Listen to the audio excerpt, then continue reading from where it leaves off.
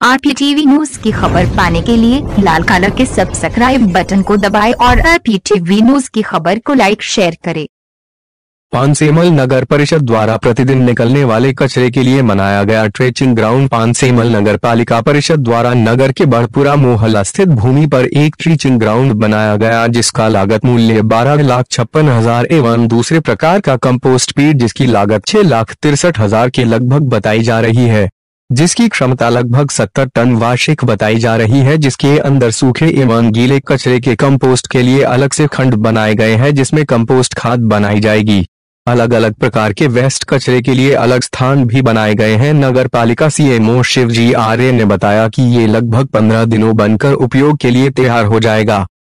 Trenching ground को लेकर question थे एक तो उसकी लागत और निर्माण कब से शुरू हुआ और कब खत्म हो जाएगा? ट्रेंचिंग ग्राउंड तो बहुत पहले से होना था, लेकिन यहाँ ज़मीन का अभाव था।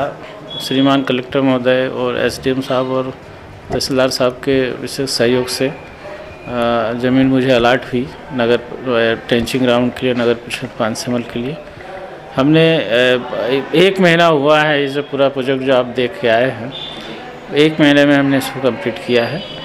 उसमें एमआरएफ का काम अभी चल रहा है, क्योंकि एमआरएफ भी उसी स्वच्छता सर्वेक्षण में बनाना है तो उसको लगभग पंद्रह दिन और लगेंगे। हमारा हमारे एफएसटीपी जो है तैयार है और कल से हमने उसको आ, कल से चालू भी कर दिया है। कंपोस्ट पीट हमारी तैयार है और पूरा शहर का जो भी है सूखा कचरा गीला कचरा वो जो वहाँ जाना है अलग अलग प्रकार की पीटें बना दी हैं और वहाँ कंपोस्टिंग का काम चालू कर दिया। सर आज सामग्री भी कुछ वितरित की गई जो हमारे हाँ जो जो सफ़ाई काम कर्मचारियों के पास पहले भी सामग्री थी लेकिन कुछ सामग्री और हमने बुलवाई है और उन लोगों को आज वितरित की है। वो भी हमारे स्वच्छता सर्वेक्षण की कड़ी में उसको भी शामिल है वो बिना ड्रेस कोड का कोई भी सफ़ाई कामगार काम नहीं करेगा। और उसके इनके सबके जो एक्टिविटीज़ हमारी जितनी भी होती है वो सब स्वच्छता ऐप पे स्वच्छता पोर्टल पे अपलोड होती है। उसमें हमारे अलग अलग हर एक्टिविटीज़ के मार्किंग है नंबर है।